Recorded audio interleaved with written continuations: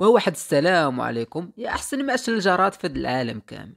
كيف راكم؟ كنتمنى تكونوا مزيانين وكنتمنى تكونوا كدوزوا. من بين أحسن الأيام ديالكم وعاود ثاني رجعنا فيديو جديد وتوقع التشكيلة. عاود ثاني هذا اش كيعني؟ قول قول انت. كيعني بأن الراجل لعب غدا صاحبي باقي مبغيتيش تحفظ هاد القصة هادي. من بعد واحد الغبرة اللي ما كانتش طويلة بزاف اللي كانت بسبب المرض ولكن الحمد لله إحنا راجعين وغادي نرجعوا أحسن إن شاء الله. المهم قبل ما غادي نبداو في هاد la vidéo هذا ضروري تفرقع ديك like حتى بنادم راه ولا كينساها تعابونا في la chaîne. وفي حالة ما بغيتي دوز عاد ديال la chaîne الأولى. فراه كنقول لك الساط والله ما غتندم درتي هادشي كامل. وزير لي هذيك السمطة. وغتشي يلا بينا نبداو. فيديو بعنوان البطولة pro. الرجاء غادي تستقبل الدفاع الحسن الجديدي. الرجاء اللي خاصها ضروري تجيب 3 points باش تزير المتصدر. الدفاع الحسن الجديدي خاصو حتى هو ضروري يجيب 3 points باش يطلع في الترتيب. ترى عرفتي كي بدات الدفاع الحسن الجديدي؟ كنت كنقول هاد العام بغات دير البطوله واحد شوية وهي تبدأ تلاشي. الدفاع الحسن الجديدي نقدر نقول لك بانها كدوز من بين أكفس المراحل ديالها. سمع معايا مزيان مشات في كأس العرش في الدور 16 اللي كان ضد نهضة بركان. خسرات معاها وفي المدينة ديالها وضربات الجزاء. جات باش تصالح مع الجمهور ديالها ضد السوالم. جاو السوالم ضربوها بجوج zéro حتى هما. جاو عاوتاني باش يتصالحوا مع الجمهور ديالهم ضد المغرب الفاسي. خرجوا عاوتاني تعادل.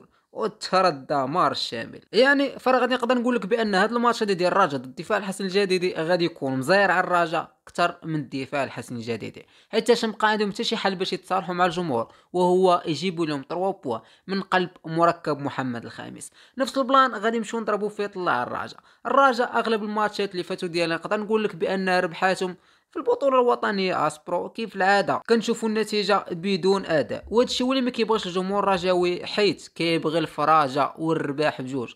ولكن مع هذا المدرب ومع هذا المكسب هادشي غنسى معلم. ترتيب ديال الفريقين حاليا في البطولة كلنا كنعرفوا بأن الراجا كاين في المركز الثاني من بعد ما لعب 22 مقابلة حصدات فيها 46 نقطة. أما بخصوص الدفاع الحسن الجديدي كاينة في المركز السابع. من بعد ما لعبت 22 ماتش وعندها 30 نقطة. ولكن ال plan اللي غادي يقادو مزيان في حاله ما الا ربحوا غتزادهم 3 points غادي ينقزوا نيشان المركز الثالث وهذا الشيء هو اللي غادي يخليهم غادي يجيو ياكلوا معاك ال gazon معلم. أصلا أصلا أصلا أي فرقة كتجي كتلعب ضد الراجا فرا كتولي ريال مدريد version 2022 الماتش ديال الراجا contre الدفاع الحسن الجديدي اللي غادي يكون في قمة الجولة 23 الماتش اللي غادي تلعب في مركب محمد الخامس كنا كنذكروا بأن الراجا كانت ربحات في جديده بجوج لزيرو. بخصوص توقيت المقابلة اللي غادي يكون على الساعة الثامنة والنصف يوم الجمعة إن شاء الله القناة الناقلة واللي هي الرياضية. بخصوص الغيابات ديال فريقنا الغالي فكيف العادة؟ زكريا الوردي اللي حاليا باقي كيعاني من الإصابة كنا شفنا بانه رجع للتدريب ولكن فقط التدريب الفردية مشات عاوتاني واحد ثلاث سيمانات عاد باش غادي يعاود يرجع. أم بخصوص العرجون فرا كاين واحد النسبة كتقول بأنه غادي يحضر وكاينة نسبة كتقول بأنه غادي يشارك من بعد ما هو كان كيدير فقط التدريب الفردية واكتفى فقط بالجري. أما البقية كيبان ليا الجميع حاضر. في انتظار عاوتاني مستر الطاوسي أو وليد اللي كتحكم في الطاوسي أشنو هما اللاعب اللي غادي يبعدو؟ وكيف عادتي بطول المرابط وديك الطبقة راه باين غادي يبعدوها ونشوفوا عاوتاني الأساطير كيلعبوا معانا. المهم فهاد اللحظة هادي باش نمشيو نيشان نحطو ال terrain ونبداو نطراسيو في اللعابة. ضروري تهبط انت ال commentaire وطراسي التشكيله المثالي اللي كتبان لك مزيانة. امشيو ندخلو بها نجيبو بها 3 بوا. وغادي نخرجوا في حالنا. راسيتها مزيان. ويا الله نقصدو ال terrain. نبداو بحراسة المرمى. صراحة حنا كلنا كنعرفوا بأن أنس الزنيتي بلاصتو متراسية ولكن ما كرهناش نشوفو قايا مرباح في هذا الماتش هذا. ما فيها باس مرة مرة تدخلوا باش تشوى يبقى. مع الأجواء. وما يحش تشوى بديك اللعيبة ديال أنا زنيتي هو اللي كاين في الفرقة. مع العلم أنهم بجوج عندهم وبجوج كيطاكيو مزيان وما بغينا نضيعوا في حتى شي واحد فيهم صراحة. غادي نمشيو القلب الدفاع مع عوده الهدودي فرا بنسبة كبيرة غادي يبان لك مخشيش الماكينه خصوصا مع الإصابة اللي كانت تعرض لها إلياس الحداد فصعيب أنه يدخل في هذا الماتش هذا. لهذا غادي نحط الهدودي في الجانب ديالو حركاس غادي نمشيو للاظهره غادي نبدأ بالظهير الأيمن.